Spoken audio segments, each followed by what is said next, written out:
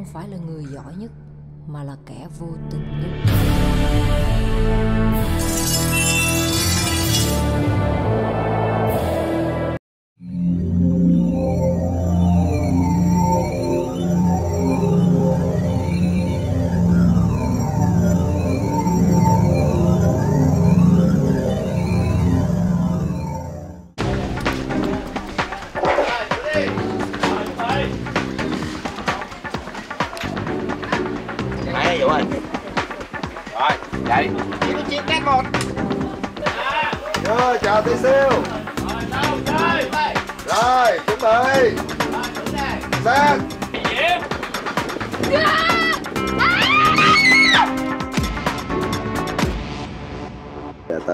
Điểm này thì tôi ờ, nghĩ đang là một cái bộ phim mà nó mất nhiều thời gian nhất của tôi. Cái cái khâu viết kịch bản và khâu chuẩn bị nó tốn khoảng gần ờ, 2 năm. Trăm này 4A đến 1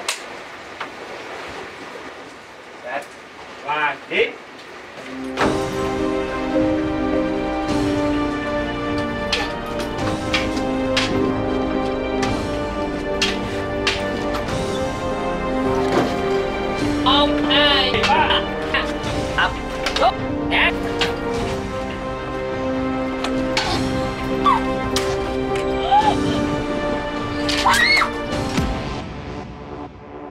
tôi đã đo đi đóng giày cho Thanh Hằng và Tăng Thanh Hà. Nó phát xuất từ một cái ý tưởng khi mà tôi ngồi tôi nhìn hai cô này tôi nghĩ nếu hai diễn viên nữ ngôi sao này mà đóng một cái bộ phim hành động chung với nhau và đối đầu với nhau thì chắc hẳn sẽ rất là hấp dẫn.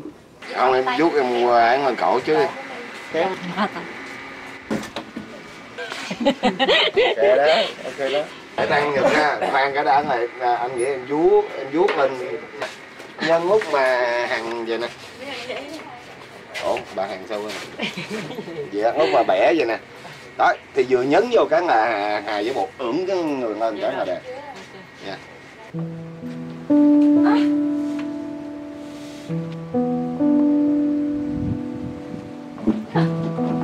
vô quá.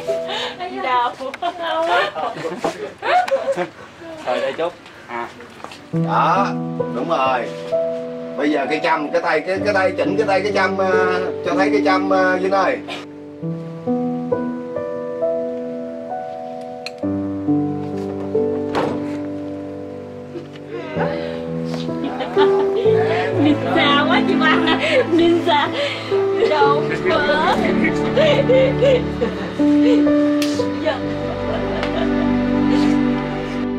trong bộ phim Mỹ Nhân Kế mọi người sẽ được uh, đã mắt với những cái pha hành động do chính cái diễn viên tự làm.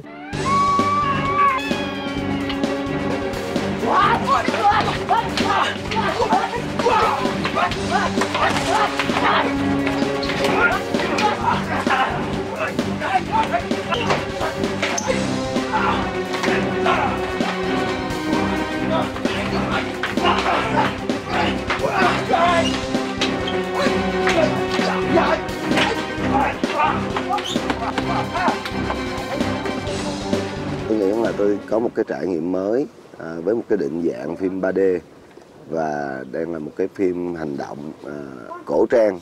Cái thể loại này là một cái thể loại mà à, tôi nghĩ là nó không có một cái truyền thống lâu đời của điện ảnh Việt Nam. Vì vậy tôi nghĩ nó là một sự trải nghiệm mới và rất là khó khăn.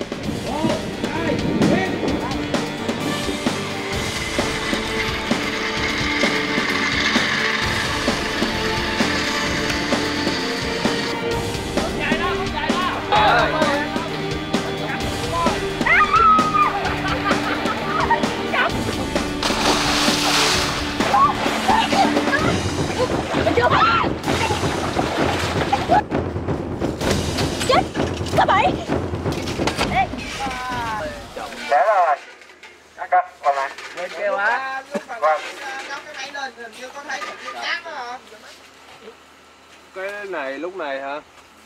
để hoàn thành tốt những cái pha hành động cũng giống như là những cái cảnh quay nguy hiểm á, thì à, cần rất là nhiều yếu tố, mà cái yếu tố chính đó là mình phải luyện tập rất là nhiều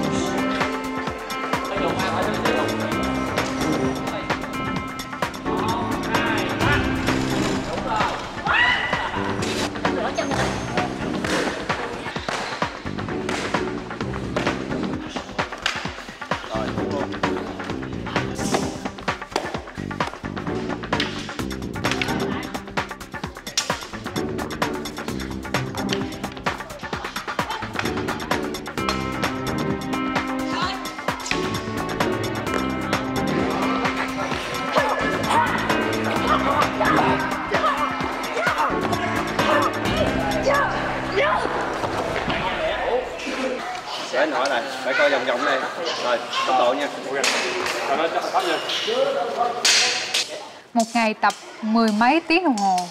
Chưa bao giờ mà tập võ mà người lại út, ướt sũng giống như là đi tắm nhảy xuống nước vậy đó. Diễm My và chị Ngọc Quyên, thì hai chị em về, người nào người nấy bầm tím hết tay chân luôn. Quả thật là một cái thời gian không thể nào quên được trong cuộc đời.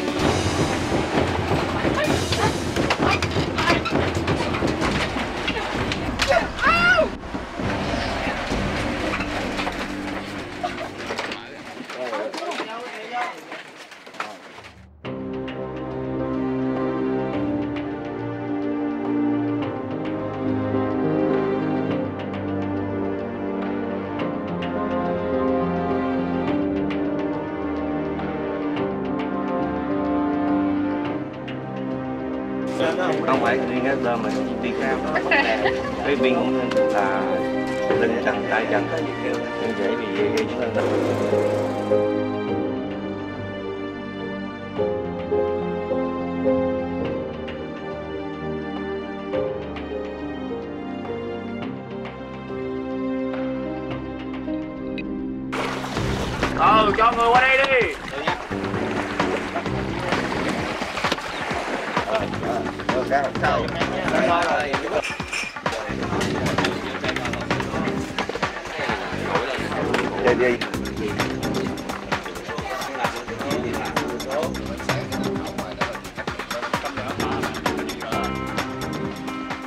định dạng 3D là một cái trào lưu mới của điện ảnh thế giới. À, nhiều người nói là 3D nó chỉ là một cái mốt một cái thời trang hiện nay của điện ảnh nhưng tôi nghĩ không.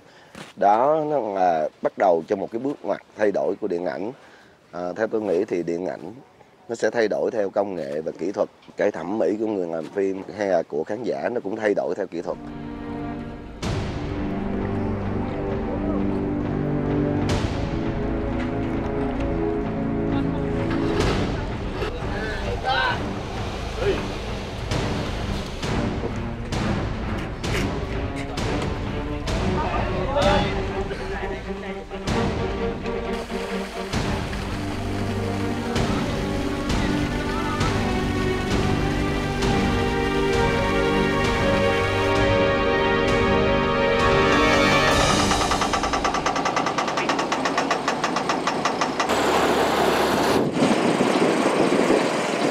Biết trước đây thì điện ảnh đã từng là phim câm và khi mà phim có tiếng ra đời á, thì cũng có rất là nhiều người anh nói là điện ảnh là phải không có tiếng.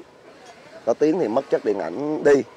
Nhưng rõ ràng chúng ta thấy tới hiện nay thì âm thanh nó đã mang một cái tầm rất là quan trọng. Tôi nghĩ là 40 đến 50 phần trăm của bộ phim nó tạo nên không khí của bộ phim. Và sau đó chúng ta cũng biết tới một cái thời đại mà từ phim đen trắng đổi qua phim màu. Và chúng ta cũng có rất là nhiều cái nguồn dân luận khác nhau. Có một số người người ta vẫn nghĩ là phim đen trắng mới là phim nghệ thuật.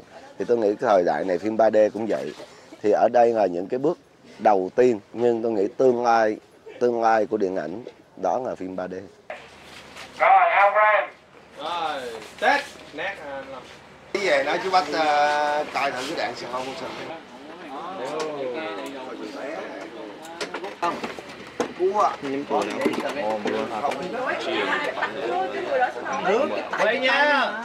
Thật sự 3D là một cái à, công nghệ cũng còn mới kể cả đối với thế giới. Nó có đem cho chúng ta cái nhìn nhận về hình ảnh nó khác với cái truyền thống 2D của chúng ta. Nôm na là cái gì nó đẹp thì nó nó nó sẽ đẹp hơn. À, nhưng cái gì xấu thì nó cũng ở đây được nhiều hơn nó khó che giấu hơn.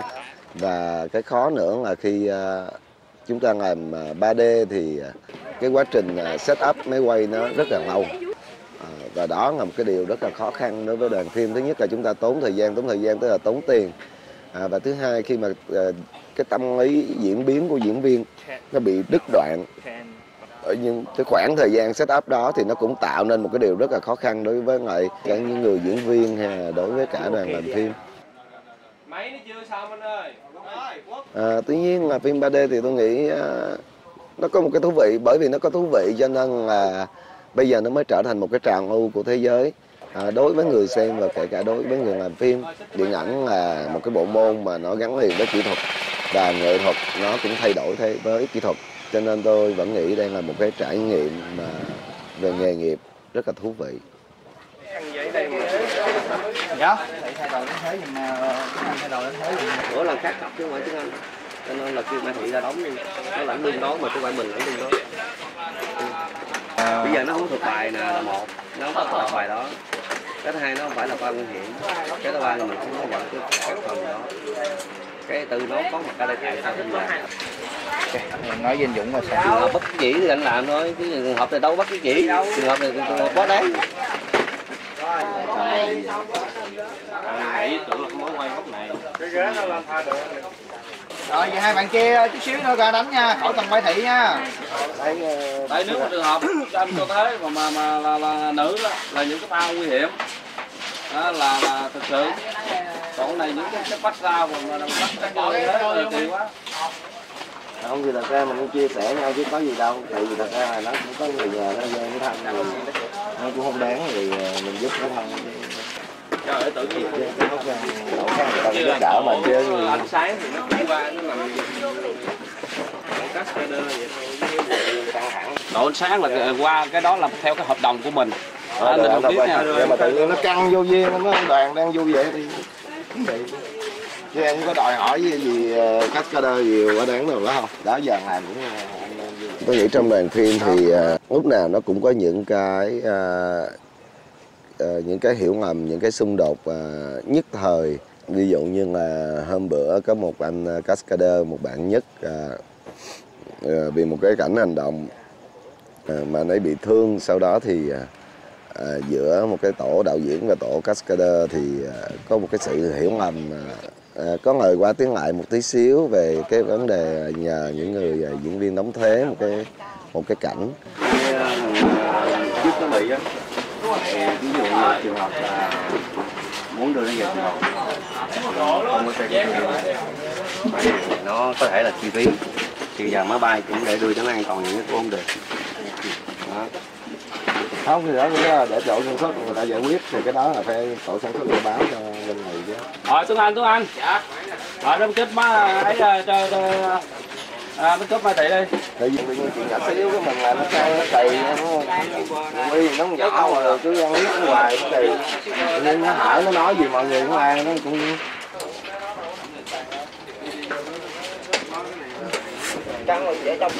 à quy ơi kêu mai thị ra đi. Đâu đánh được thôi được rồi. Ờ, mấy bạn không cần lo ha rồi rồi gắn đâu giùm đi. Mà bác sĩ nói à, mọi người coi xong rồi bác sĩ trường cũng nói là nó không vấn đề gì hết chỉ có phục hai hồi á thì có hai hướng hỏi đó không phải là nói vậy thôi toàn người ta không thôi nó ai cũng thôi đó cái mạng của người chứ bộ. Rồi bây giờ thì là trả lời cho Dũng luôn lúc đầu á là nó không có bằng hợp đồng sau khi đó xong đó nhưng mà nó đứng rồi mà anh em thật ra là cái đó đối với khách nó dễ. Anh công không nhưng mà cái khi mà Huy là gì kia nó vô á đồng ra nếu mà mình Không, kêu sát Huy- thì đó giờ anh em mình đâu không làm được cái không làm được điều đó. Nhưng mà thằng Huy nó vô nó kêu làm điều đó. thằng Huy nó vô kêu là cho vô phải thay nó ngay thì cái chuyện đó là nó hơi đánh cái ra thì nó nó phải nói cái kiểu ép chứ nó không phải là thì ép, bắt buộc thì nó hơi bị gì. Anh đi tâm tinh thần nãy giờ mọi người đang lo cho những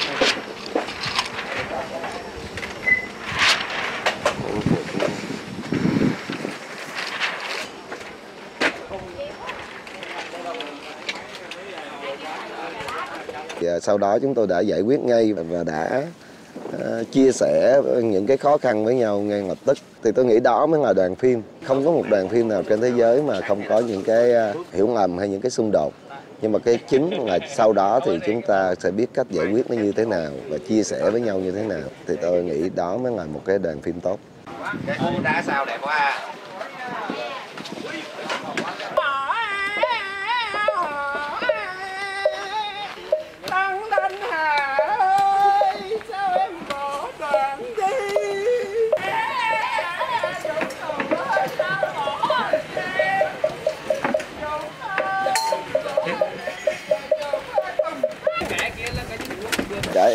Rất là hy vọng bộ phim này sẽ là một bước ngoặt để cho khán giả Việt Nam có thiện cảm với uh, những cái phim võ thuật cổ trang của Việt Nam. Nếu cái bộ phim này thành công thì nó cũng là sự tự tin thêm cho các nhà sản xuất có thể đầu tư vào những thể loại mới mà từ trước tới giờ chúng ta ít làm hay là chúng ta ít thành công và tôi nghĩ là khi mà điện ảnh phát triển tức là khi chúng ta phải có nhiều thể loại đến cho khán giả mong là khán giả sẽ ủng hộ những cái dự án sau của những người đồng nghiệp của tôi và điện ảnh Việt Nam có một cái khát khao thay đổi và có một cái mong muốn thuyết phục được khán giả đến xem phim Việt Nam.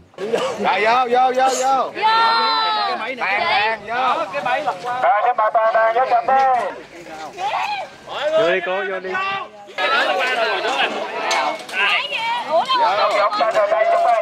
Hôm nay đang là một cái ngày à, quay à, cuối cùng. À. Tôi muốn nói với ekip mình rằng tôi cảm ơn tất cả mọi người. Ai cũng làm việc rất là chăm chỉ, rất là cực lực. Tôi nghĩ là nếu mà không có họ thì chắc chắn sẽ không có cái bộ phim này. Những người mà đầu tiên tôi muốn cảm ơn đó là những diễn viên của tôi đã có những cái ngày làm việc rất là cực khổ, có rất là nhiều khó khăn nhưng mà họ chẳng chẳng than một tiếng nào mà họ cứ làm việc chăm chỉ. Tôi cảm ơn à, nhà quay phim à, Trinh Hoan, anh là cái người thực hiện những cái à, ý tưởng của tôi từ lúc tôi mới ra nghề tới bây giờ. Tôi cảm ơn Nhật Linh, một cái người bạn phó đạo diễn chia sẻ với tôi suốt cả quá trình làm phim. Tôi cảm ơn bạn Huy trợ lý. Tôi nghĩ đó là là một cái người mang một cái sức sống ờ, nó giống như một cái hình ảnh mà khi mà tôi mới ra trường rất là cần cù, rất là siêng năng, rất là dễ thương. Và tôi nghĩ là tất cả các diễn viên đều ờ, yêu thích anh này bởi vì anh này anh chăm sóc diễn viên rất là tốt. Cho nên là diễn viên họ làm cực, họ vẫn cảm thấy trân trọng và họ cảm thấy rất là thoải mái và họ cảm thấy rất là vui vẻ khi làm việc. Tôi xin cảm ơn ekip Cascader đây là một cái ekip rất là cực khổ. Tôi xin cảm ơn nhà thiết kế Công Trí, nhà thiết kế Tuấn Trần, những người đã tạo ra những cái bộ phục trang mà tôi nghĩ nó đã góp phần cho cái bộ phim nó đặc sắc hơn và độc đáo hơn. Tôi cảm ơn tổ ánh sáng. Bộ phim này thì rừng núi biển rất là nhiều, mỗi ngày đều phải khiêng những cái đèn rất là to lên tới đỉnh núi và những cái buổi trưa mà ở trên đỉnh núi thì kinh hoàng. A Mã tên chứng minh nhân dân là Mã Phi Hải. Họa sĩ thiết kế của phim. Rồi bây giờ anh Mã anh, anh Hải chỉ giùm anh cái bối cảnh cái bếp Khoan, kia khoan, cái A Mã thợ cái mà bị ná thợ không phải bị bệnh tiên. to. đây là đây là cái người mà lúc nào mà cũng dí tôi là đòi tiền. Bây giờ không có tiền là tôi đứng trên nhiều trận. Đây là cái Tôi xin cảm ơn à, họa sĩ thiết kế Mã Phi Hải cùng à, tổ dựng cảnh cũng như tổ đạo cụ đã ở Ngọc Sương à, gần một năm trời để dựng cảnh. phim à, Mỹ Nhân Kế quay ở trong một cái nơi có bối cảnh đẹp nhưng nó cũng là những cái khó khăn về mặt sản xuất hiện nay thì à, chúng tôi đang phải à, cho ủi một cái con đường dài hàng km để à, xe thiết bị à, xe máy nổ có thể đi vô bối cảnh và đưa được lên chỗ cái bãi mà các bạn đang thấy đây thì cái bãi này là cái sân đá cầu mây. Sau khi mà sẽ ủi ủi cho nó tương đối bằng phẳng, thì để cho diễn viên diễn xuất tốt nhất thì chúng tôi phải đổ lên khoảng chừng mấy chục khối à, cát nữa. Để cho nó vừa à, quay nó vừa đẹp và nó vừa an toàn cho diễn viên. Tôi xin cảm ơn anh à, Đỗ Quang Minh. Đây là một cái người mà đã chăm lo cho đoàn phim à, về mặt hậu cần. Anh giữ vai trò điều hành sản xuất và đã giúp tôi những cái chuẩn bị để làm sao tất cả các ý tưởng trở thành hiện thực. Tôi cảm ơn cái tổ hiện trường. Sở dĩ là mọi người làm việc trong nắng gió cực khổ mà không than phiền không gì hết. Đó là những họ chăm lo cái đời sống cho anh em rất là tốt. À, còn còn nhiều người nữa tôi cảm ơn tất cả các ờ, người làm việc trong đoàn phim này.